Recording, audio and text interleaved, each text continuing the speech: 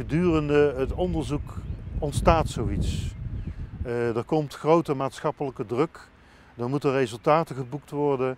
Als je een krater berekent aan de hand van zogenaamde explosiekracht en je gaat dan terugrekenen en je komt op eh, een paar honderd ton uit en dat is dan hoger dan uit de administratie blijkt, dan gebeuren dat soort dingen.